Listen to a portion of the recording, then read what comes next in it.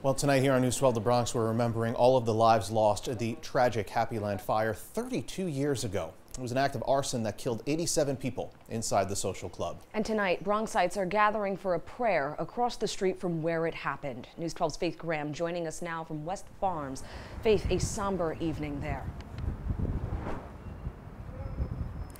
Amanda Kurt, that is just one way to put it. 32 years later, and you can still feel a heaviness and sadness in the air here at the monument on the corner of East Tremont Avenue and Southern Boulevard.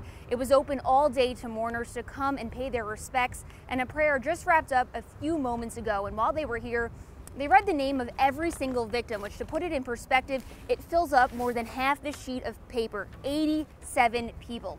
More than two dozen people came out here tonight, including Borough President Vanessa Gibson, State Senator Luis Sepulveda, and members of the mayor's office, many in tears as they remembered their loved ones. The fire took place on March 25, 1990, and was started by Julio Gonzalez, who had gotten into a fight with his girlfriend.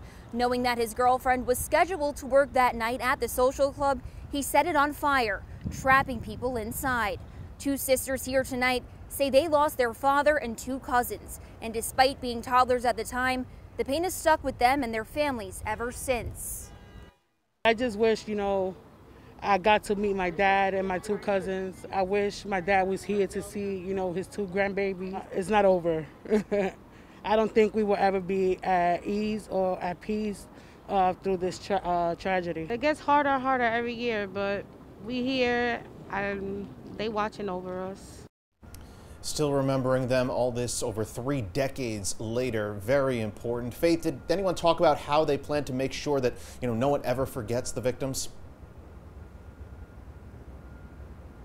Yes, 32 years later, and it's still a huge topic of conversation. And Senator Sepulveda says that within the next month, he plans on creating a new sign outside the monument with all of the people's names that lost their lives in the, that fire. He says that their families deserve a permanent place to come with a nice sign to remember their loved ones in a day that deeply impacted the Bronx. In West Farms, Faith Graham, News 12. All right, Faith, that those efforts will go a long way.